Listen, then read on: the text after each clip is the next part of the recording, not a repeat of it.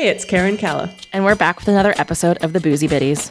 This is the Drink As You Learn School with two longtime friends. And sometimes two boozy biddies. You can't touch this.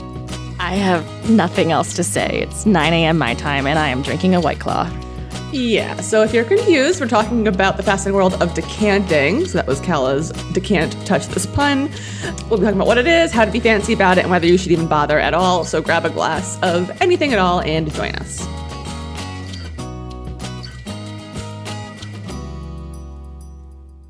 Just so everyone knows, this is attempt number four to have recorded that opening.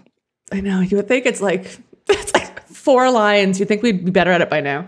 Nope, especially when I'm so proud of my terrible pun and fuck it up immediately on go one. Yeah, I'm kind of sad we didn't just keep that one in there because that was, I mean, they wouldn't have had any idea what was going on. But yeah, you said. I mean, maybe we can you- repost it as you- a blooper thing on the Instagram. yeah, you can't to touch this. well, you can't touch this either. Not without my consent. True. Always ask first. Yeah, I, we thought maybe recording first thing in the morning would be beneficial, but no, no, no. It's actually sure one of our rougher starts. Yeah, I mean, and that's it. And we're even like we're going. I mean, you have your typical white claw. I put a little bit of scotch in my black tea is a new thing for me. A little bit of scotch and black tea. It- Huh, I it like works. that. But yeah, decanting. This was just something that like I thought might be. I don't want to say interesting because that sounds like a stretch. We're like talking about glass vessels here. yeah, but just like useful because some, every once in a while I'm like, okay, like this wine tastes a little bit different. Does it need to be aerated? Do I need to mm-hmm. decant it? Mm-hmm. And actually, you had done most of the notes for this. When I came back to it, I was like, wow, like my husband and I probably are doing this. Not all wrong, it's not messing anything up necessarily, but I think our philosophies for when we go to decant something might be yeah, I feel like appropriate. since we did that barware episode a few ones ago, I mean, here's just another piece you can add to your home bar if you want to seem fancy. And it could go both ways. both ways. Okay, Kella. For uh, whiskey and or wine, you know, so this is not just wine specific, you know, there's other options for this in the spirits world as well. So, Right. And so basically, the idea behind this is you're going to slowly pour with wine. I don't think you actually have to pour your whiskey too slowly, but if it's wine, you're going to slowly pour it from the bottle into another vessel. And there's three reasons why I would want to do that, which we'll touch on. And the same thing with whiskey. You're going to be pouring it into another bottle before serving it. And I guess this was pretty typical historically, not necessarily with like glass decanters, but like they had these big barrels they had their wine or spirit stored in. So you would typically always be moving your wine from like a bigger jug into a little thing to serve it because it's just like easier to do. Um, of course, like 3,000 years ago, these vessels were more like earthenware, but they also had bronze, silver, or gold, which I'm guessing probably wasn't great for wine. no, I'm drinking out of feeling like that metallic thing might like impart into the wine. Yeah, I'm guessing the wine also just tasted much Bad different anyway? Yeah. So yeah, they just didn't care. Use of glass bottles became more popular when the Venetians perfected glass blowing in during the Renaissance. So that's like 1300s, when 1400s, when it? 1500s. When was the I don't know. Renaissance? I don't, I don't care. Weren't just- you? You weren't you art mate art something? art history minor, so I wasn't majoring in it, so that's probably why I don't remember anything. Okay. I just I remember that there was a really cute boy in my class that had the Renaissance art in it. See, I was basically right. It was because I I just named a bunch of centuries. It was So it's one of them. Yeah, it was the 1300s to the 1600s. Okay. So- and actually, I should know this too because I was a history major. But Well, yeah. I mean, s- you had a major, I had a minor, so I'm just saying. okay, but yeah, so that's when glass came on the scene, and then it became very popular in Europe, mostly because of England. In the 18th century, they were all about the decanters. So I'm thinking like Downton Abbey style, even though I guess that was the early 19th century, Uh huh. 20th century. Yeah, 1900s. All right. Um, We're doing really good anyway. at dates today. yeah, just got it got it down. Um, but yeah, so in the 1700s, England got decanter crazy, spread throughout their colonies in the Americas later on, and also throughout Europe. They introduced stoppers in the 1730s, so that's when more whiskey. Because wine, you're kind of putting in decanters and then serving right away. Whiskey, you would put in a decanter and then store. So once they invented decanters, then that became popular for whiskey as well. Yeah. Um, and now today they're mostly like glass and crystal, you know, it depends how much money you want to spend on one, but you're looking at glass. And I guess there's a few standard shapes, including the swan, the cornet, the duck, and then just standard. The last side is standard. They're like, let's call the first ones kind of like bird names, and then the last one's standard. The standard type. but they come in like a bunch of different sizes. And I personally don't own a decanter. I had bought my dad a whiskey decanter once for Christmas, but I don't own a wine decanter or a whiskey decanter. Uh, mostly because I'm not treating myself to very nice things in my apartment. I feel like the only time I've really had any wine decanted has been out at restaurants. And that's actually what I was finding in sort of my little historical research is that Oh, like they became very popular like in the early like late 1800s, early 1900s, up through like the 1950s and 60s when it was more that people would like come to your house for these big dinners or Well, just think of like Mad Men, like they're in like their offices with a whiskey decanter and yeah, stuff. so of you like know? Downton Abbey through Mad Men. Yeah. And then basically the whole, you know, going out to restaurants became much more popular. And, and now restaurants will still like decant wine for you, but it's not so much of a here's my nice crystal decanter. And they had also like crystal decanter sets. So I guess like when we get to like the Downton Abbey time in the early 1900s, like if you're really wealthy, you have like a crystal set worth thousands of dollars. You have a decanter used for white wine, a decanter used for red wine, decanters used for whiskey. They even decanted rum. Oh my god. And so they would just have like huge amounts of decanters. And that's why you can still find antique crystal decanters all over the place. I guess it's more rare to find like an entire set that's still intact. Yeah, I think the one I bought for my dad was just on Amazon for like eighty dollars. I think it was a decanter and like a few matching rocks glasses with like the same cut glass shape in them or something. Yeah, my parents got Tiago something similar for one of our first like Christmases or something. And so like he has that in his apartment. We don't have we used to have a wine decanter, but we broke it, so now we use a flower vase. We love multi-purpose tools. yes. It has kind of a similar shape. It's not quite as like of course we're not doing video anymore, so my hand gestures are useless. But a lot of wine decanters have a very wide base and then that kind of like like an easy abruptly- pour neck. Yeah. Yeah, it abruptly turns into a neck. And so we have this like flower face that's like kind of like a ball at the bottom and then a long neck. Yeah, that works. Use that. So yeah, so for wine, Calla, do you want to lead us through the three reasons why you might decant a wine? Yes, the benefits to this. The first one, and this is what they think is why decanting became a thing, was to separate the sediment from the liquid. That was the first purpose of decanting. So, in a lot of reds, especially in some whites, but mostly in reds, you get sediment at the bottom, which is just, you know, particles that have fallen out of suspension. And they're not bad for you. They just kind of don't always taste great and add a little bit more texture to your wine. Cause I'm sure Yeah.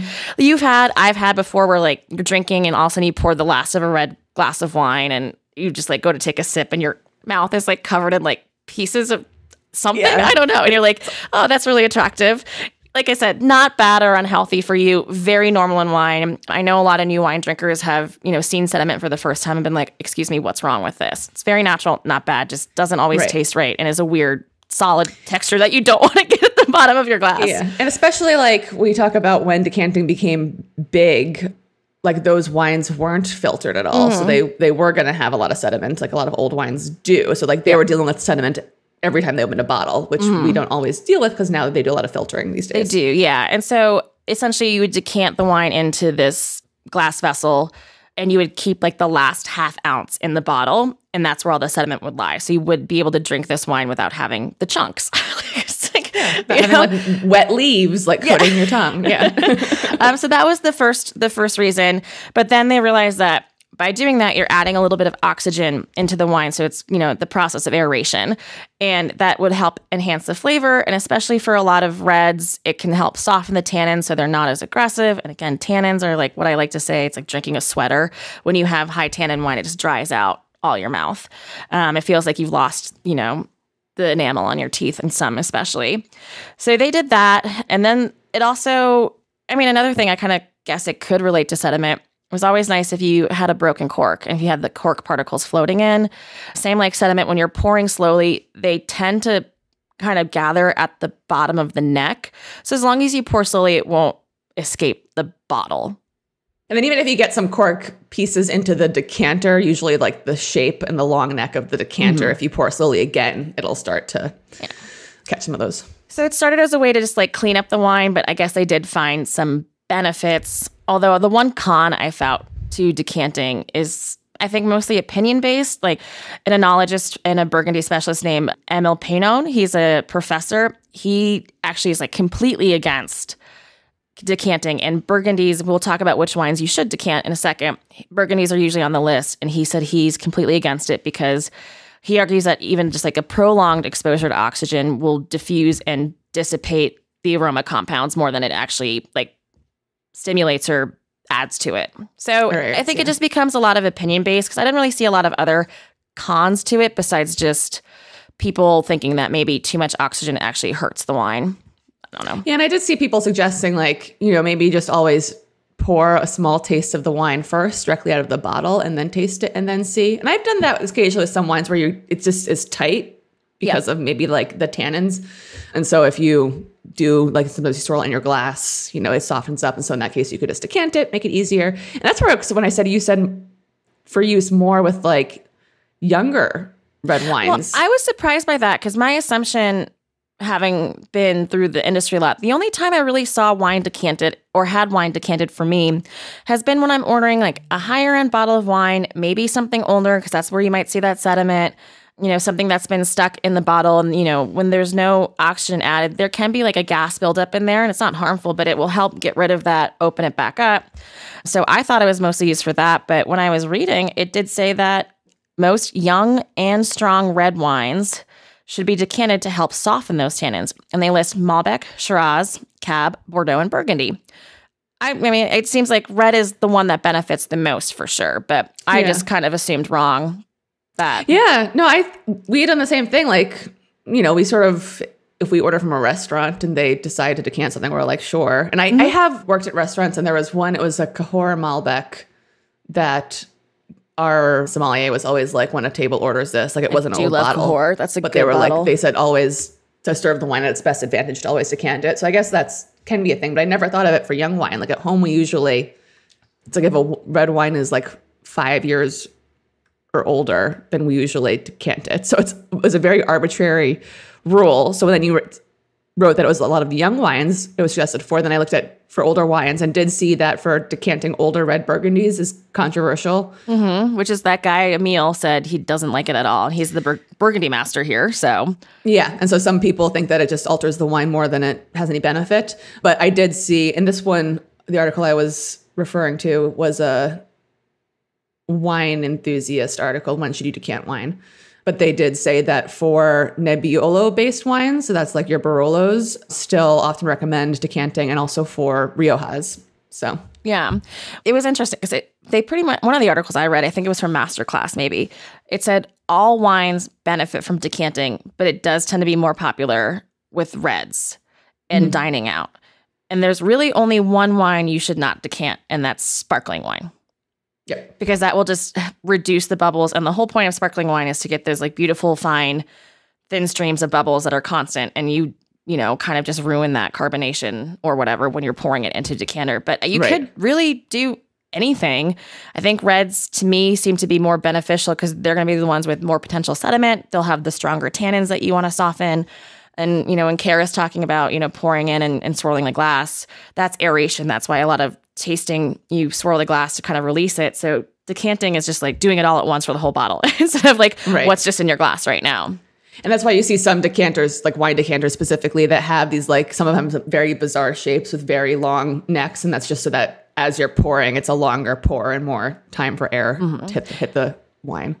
And I guess, you know, decanting too, it's like I usually don't have the patience. I also don't buy the nicest wine. You know, I think some of the nicer wines I've bought for myself are just ones that we've done for the podcast purpose. but you're supposed to let a lot of reds breathe. So they always say, like, recommend like opening the bottle of wine before you serve it. If you can be patient enough to open it and wait 30 minutes, you know? Mm-hmm. So they say that with decanting too, it's it's beneficial and you can actually decant a lot of wines up to four hours before you serve. Wow. I just don't know why I'd open a bottle of wine and then wait four hours to drink it. It's just not me. it- it's just not I me. think it's just you have to really know your the bottle to know like oh mm-hmm. this one benefits from that. I have had that with like a lot of a lot of times the nicer bottles that I buy for myself. It's just me because I rarely drink an entire bottle by myself during the week anyway. So then I'll have like half the bottle left over for the next day. And some of the really nice ones, I, I can't find the rule or reason. But a lot of times I like them better the second day that they've had that little bit of air exposure. Softens. Yeah. Yeah. Yeah, it really does. I actually last week or when I got back from Peru a couple days after that, it started getting colder in Denver. You know, we're like kind of hitting that late fall. Um, you know, snow's been falling in the mountains and it's like, you know, 30 degrees at night. And it was just like an overcast day. I was like, you know what? I just like really want a decent ish bottle of red wine. You know, I'm by myself, but I just kind of want to cook dinner and have a bottle of red. So I walked down to my local packy and they're like, getting your white claws, Kalla? I was like, thanks. Not today. Not today. I was like, I actually kind of want a bottle of red. And they're like, what do you want? I was like, I actually have no thought process right now about what red I want. I'm coming in here. I want to try something new. You know, I was like, I don't want like a California cab. I want maybe something a little bit more old world, maybe $25 mark. Mm-hmm. And they picked up this really awesome Tempranillo. No, not Tempranillo. A Malbec, actually. Was it? It was either Tempranillo or Malbec, but either way, it was a higher end one. And I brought it home. I made dinner. I had two glasses that night, you know, corked it back up, went to bed. And the next day I was like, yeah, I love this a lot more. You know, it just softened a lot. It was a great wine. And I think it was called Volver, actually. Was that one called Volver or something else? I don't know. Where was it from? Do you remember that? I just remember I bought a Malbec and a Tempranillo, and I think the Tempranillo was the cheaper one. So I think that was the Volver. The Malbec, I can't remember, but it was just a Yeah. higher end Argentine Malbec, and I was like, yeah, I'll, you know, I love Malbec. It's it's chilly and overcast, and Yeah. it was like much softer the next day. But Malbec is one of the wines they tell you that you should, you know, try to aerate as much as possible Right. because they have those strong tannins, and they're usually young. Yeah, so I guess it's it takes yeah a bit bit of just drinking things and experimenting and seeing what needs more time. But that's like it drives my husband nuts because since I often like when I'm home during the week, I a lot of times have wine. I don't finish the bottle, so I'll always pour myself a glass and cork it. And then it's just like habit. So then like he and I are together on Friday night and like we'll pour each other glasses and I cork the bottle and he's just like, no, like it makes him mad. He's like, let it like, I don't know. He's like, let it breathe. And I'm like, okay. Yeah, I even I think I didn't even finish, which is I must have been like really on good behavior. I don't think I even finished one of the glasses of wine. Like I think I fell asleep on the couch and the next day it was just there and I like was like, I don't know, never take a sip of it. We'll just try it. I was like, it still tastes really good. I was like, my, my mom will a lot of times drink wine out of mason jars. And then at the end of the night, whatever she's like her red wine, whatever she's done with, she just puts the top of the mason jar on and leaves it on the counter. That's actually genius because I've, you know, oxygen can be beneficial in this short period, like we see in this aeration, but in the long run, it's what's going to turn your wine. So I had someone teach me, they're like, you know, if you can't finish, if you don't drink a lot and you buy a bottle and you like it, but you probably aren't going to drink it for a few more days to have the next half. And I'm like, who are these people, first of all? But second of all, he was like, what you should do is literally just transfer it to a different container that has less oxygen. If it's a water bottle, if it's a mason jar, oh. because when you, if you know, if you were to pour the rest of the bottle into a mason jar and cap it, you've depleted that oxygen amount in the container. Because mm-hmm. if you have half an empty bottle of wine, there's half oxygen Yeah. and half wine. So your mom's idea is actually pretty genius is- and is that is beneficial. yeah, and you know There you that's one of the ways to help preserve it if you're not a quick drinker. Just transfer it to a different container that you can close that has the least amount of oxygen content. That's a good idea. So sometimes I have that if like I have a bottle of wine because usually I do like either half a bottle one night, half a bottle next night, or like a third, a third, a third. But if like it falls where it's like I have like one third of the bottle left when I'm going to the city, I'm not gonna like bring my one third of a bottle to my husband's apartment. But sometimes like, but if I get back on Sunday night, maybe I'll want it, so I, then I can put it in my mason jar. Yeah, mason jar it. You know, because that's what someone taught me, and I've, you know, someone when I used to work at that tasting room for that winery, some people were like, "Well, I want to buy this, but I don't drink very often," and I used to just give them that tip. And I was like, "Well, you know, if you just put it in a different vessel, it doesn't matter what it is. You know, obviously glass is best, yeah. but you can put it in something smaller." So there's less oxygen contacting the wine. You can, you know, prolong the life a few more days. It still won't be prime like it was after the first or second day, but it's Yeah. not going to be bad or worse, you know? Yeah. Oh, there we go. So fuck decanters, just get some mason jars. Yeah. I feel like this is the second episode we've like talked about ball mason jars on. So like, can they fucking sponsor us by now? Their headquarters are in Denver. I'm just going to go down there with this, this down there. episode and be like, hello. They're like, I think we have enough luck with the hipsters. We don't need you. You don't need to, guys. But yeah, no, all, all good ideas. Yeah, and so that's you could talk about preserving wine. That's part of the reasons why people, you know, they do like to decant whiskey and for like looking fancy, but you actually don't need to because whiskey doesn't have those same properties as wine in that it's much more alcoholic and doesn't have the tannins So therefore, there's really almost no reason to decant it. So is decanting whiskey just literally for fancy showpieces, like having that crystal decanter on your bar set in your Mad Men office, or just on your home bar to look like a art piece kind of thing? Currently, yes, present Okay. day, there is no actual reason. Like, no one's like, oh, you have this like 15 year single malt, so, you know, decant, Decant it before it. you drink it. They do say, like, yeah, like you want whiskey will start to change and again, like soften a little bit with in- interaction with the air. Not the tannins that are softening, it's more just like it's unlocking flavors and aromas. Yeah, for a second there, I was like, aromas means is another word for flavor, but no, that means smell. Well, they're very tied together. they say when you drink alcohol, most of your taste is actually the smell of it. Right, and that's so that's part part of the idea. It's not so much even that the whiskey is interacting with the air; it's that it's having that opportunity to warm up in your hands and Okay, open yeah. and and yeah. But they're saying like you're gonna get that anyway because since whiskey is you know forty to fifty percent alcohol by volume as compared to a wine's twelve to sixteen percent, like you're gonna be typically sipping it much more slowly and give it that time as you're drinking it. Okay. So there's really no reason. The practical purpose for decanters back in the day was that you would have like not like a huge whiskey barrel, typically not the ones where you again, I'm making gestures with my arms. Really huge barrels. So you wouldn't But have like the 55 gallon barriques. You'd have, you know, some kind of like little.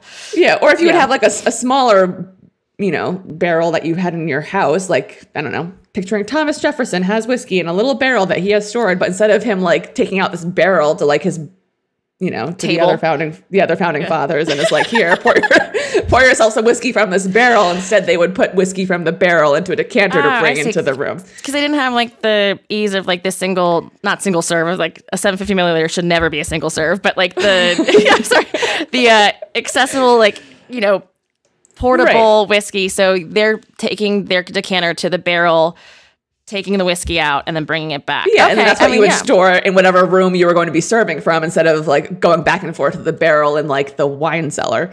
So I mean, I would buy a whiskey decanter if I could have a gallon, like a barrel of whiskey in my apartment. Right. So if you keep the barrel of whiskey in the basement, well, you don't have a basement in your apartment. have a but, like, I could have a- yeah, I could, I could have a barrel in the basement, and then I could go and refill it with my decanter. And now I finally got rid of my kegerator that I had for years that I never used. So now I have room for a whiskey barrel, I guess. There you go. Yeah, there I go. I'm gonna see if I can talk to some of my uh, my Colorado homies who uh, work at whiskey distilleries and be like, so just like uh, get an extra barrel laying around for me. And They're like, no, Yeah, dipshit, get out of here. then you need some decanters. So you can either they, of course, as you mentioned, like what my parents got for my husband and what you got for your dad, like Mm-hmm. n- new made. Any of the big sort of crystal, like Baccarat makes like new. You can go into them and buy you know, a multi hundred or multi or a couple thousand dollar decanter. You can also get antique ones. The one interesting thing I saw is in the antique crystal decanter market, apparently a lot of antique crystal decanters are made with lead crystal, Ooh, which leaches lead into the liquid you're storing in there. So there I've was heard a lead's no good for you. No, No, it's That- that is a thing. That's a whole lead paint and all that. Yeah. Yep, yep.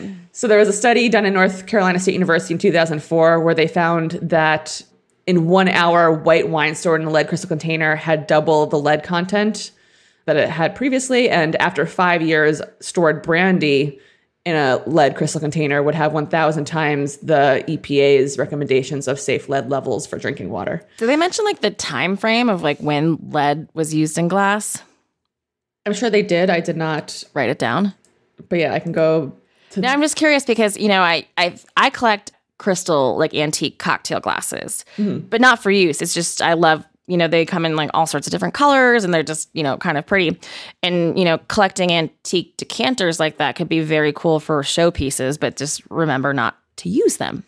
Right. And I think the thing too is they mentioned like for the white wine, like over the course of an hour, like you're typically not going to have that liquid in your lead. Like uh, you probably don't want your mouth on it too, but you're, there's going to be some lead contact, but it's going to be less lead leaching into the liquid if it's in a glass that you're just drinking from, as opposed to mm-hmm. like in a decanter that you're storing. Like some of the things like the decanter I know my husband has his apartment, which is new, it doesn't have any lead in it, but like there's he put some single malt scotch that he enjoys but doesn't drink a ton Okay. in there. So like that probably has been in there for over a year now. It's like that's when you would not yeah, want to be using these lead. No, definitely not. But they actually I guess it's a specific type of like they didn't always like in a certain period of time make cr- crystal decanters with lead. It's that there was like the l- ones with lead, the ones without, and actually the lead in the crystal makes it sparklier. So that's why it was added in a lot of these. Okay. Yeah. Yeah. I mean, we didn't know medical things back then. Yeah. But they're pretty. It's like this one article I'm looking at has like images of a ton of I mean, like one of my favorite things to do is like scour antique stores for because I, like I said, I've been collecting these antique cut crystal glasses in multiple colors, and the idea is to have them all on a shelf and like a not a rainbow effect, but like all the colors and ombre effect from like Yeah. greens to blues, and that's Yeah. my idea. And I also become my personal souvenir from places I've traveled. But yeah, you can find some really cool old crystal, you know, decanters, the punch bowl sets, like everything there. Yeah. They're fun, but you know, just make sure you know if you should use them or not. Yeah, they're lead or not. I don't know how you would tell if there's lead in them or not. But they also, it's like you can get them even that they don't have lead. You can use those ones, but they're also some of them. It's like there's a Highland Park 50 year old decanter that sells for 25,000 now. There's only a few out there. There's a Baccarat crystal one that sells for 190,000. And then Okay. there was apparently the Tequila Ley 0.925 diamond sterling decanter, known as the world's most expensive decanter, sold for $3.5 million. Why? And it only stores 1.4 liters. What? The decanter is made with hand blown glass covered in silver and pure platinum and inlaid with 4,000 cut diamonds. So you can, yeah. So you can get some normal pretty ones at the antique store. You could also like collect them and be a whatever. Yeah. You know, I'm sure Riedel makes a lovely, affordable one. I'm sure, you know, Yeah. Kara uses a what we flower vase, what like I she broke. said. yeah. That's when we broke. We had a nice, we had a Riedel one that I broke. Um, that was fine. But like I said, flower vase works fine. Yeah, I don't have any of those. I did read in one of the articles that there is a very distinct difference between a carafe and a decanter. Oh. Carafes are definitely used for just like quick pouring and consumption. You know, we used to get them in Italy. You just get a carafe of red wine or whatever. Yeah. um, the house red, and that's just meant to like pour and be done. You know, it doesn't have the reason the decanter is meant for aeration is because of that shape of the neck and the bowl. Gotcha. So that's the difference between carafe and decanter. If you're drinking from a Bota Box like Calla usually does, you probably don't need either. It's easy pour spout. Yep, you don't need that either. And, and it's interesting that they call the whiskey decanters decanters because they are shaped much differently because they don't need that aeration. It's just more of like a separate storing thing. But, Mm-hmm. but yeah, go get yourself some decanters if you want one. But I guess believe we made a 30 minute episode happen out of decanters. That was impressive. We thought this was going to be a mini-sode first, and then here we are now. Yeah. Well, I mean, it was slightly more interesting than the next episode we have for you guys. Yeah, sorry. We're actually doing a, a back-to-back today just to, I don't know, get ahead a little bit. I'm going to Chicago tomorrow, and yeah. so we're going to see how the second one goes because we couldn't even get through the introduction on the first one, the first go around. Yeah, so hope you uh, enjoyed decanters. I guess the message is you you don't need one, but go get one if you want one. Yeah, And I guess so. uh, Yeah, just another well- piece of junk for your apartment. yep. And even though we're going to be recording this in just a few minutes, we'll see you next week with uh, some suggestions for Thanksgiving. wines. Thanksgiving. Because, All right, go yeah, double fist yourselves, and you, you can't touch this. can't touch this.